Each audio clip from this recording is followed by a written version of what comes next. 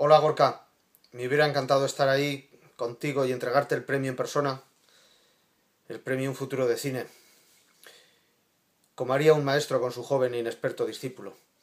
Ser esa luz que te guía, no solo en lo profesional, sino también como persona, un referente humano.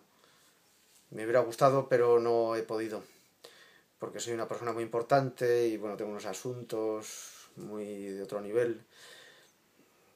No, porque soy miembro honorífico de Greenpeace y me han pedido a ver si podía salvar a unos delfines que están, están, están muy mal, los delfines están muy tristes y tal. Bueno, unas cosas muy importantes. Em, en cualquier caso, Gorka, un futuro de cine.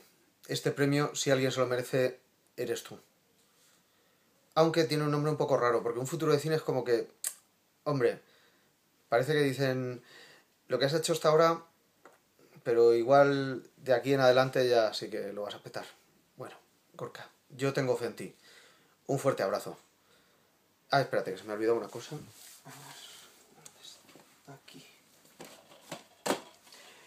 Sí, en esta película.